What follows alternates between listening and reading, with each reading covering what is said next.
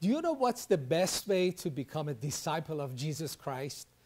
What is the best way to make disciples for Jesus Christ? Sometimes we make it very complicated. Many courses. Of course, teaching is good, but I found a way that's so powerful, so simple. I want to share that with you. But first, let me share with you a story. As you know, we have started a Bible reading campaign a few months ago.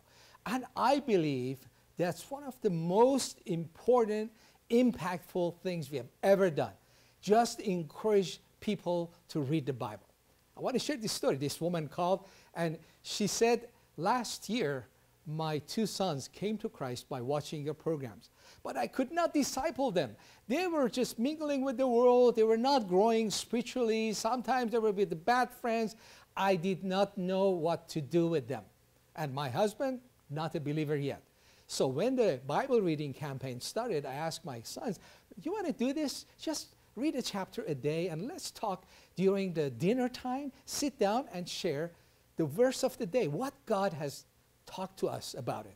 So every night we did that. And my sons, 16 and 20, we sat down and they just shared a, a Bible verse and how it has affected their lives. I did that, and my husband sitting there just watching in a matter of few weeks, I saw transformation in the lives of my son without me forcing them to be good, forcing them to separate themselves from bad friends and from the world. Their lives were changed.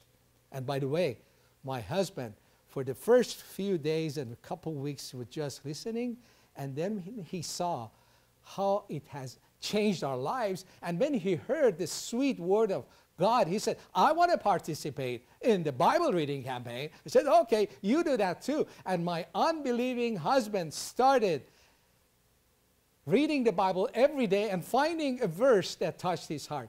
In just a matter of days, my husband also came to Christ.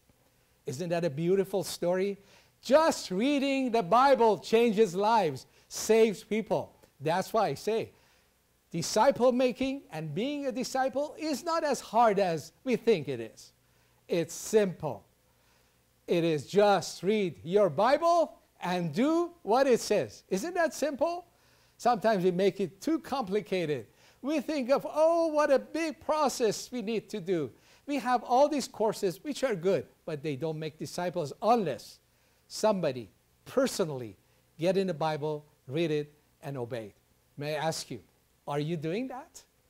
May I challenge you? Would you read one, one chapter a day, pick a verse in the morning, and say, I'm going to live this out and, and implement it in my life and obey it in my life all day and at night. That's another part of the, your assignment. At night, when I go to bed, I'm going to meditate on that one verse. You're going to have a great sleep, but your life is also going to be changed. There are not many churches. There are no churches in Iran, not many pastors, teachers, elders in Iran. But I have found the way. I found the key. The best way to make disciples is this read the Bible and do what it says. Go ahead and be a disciple and make a disciple.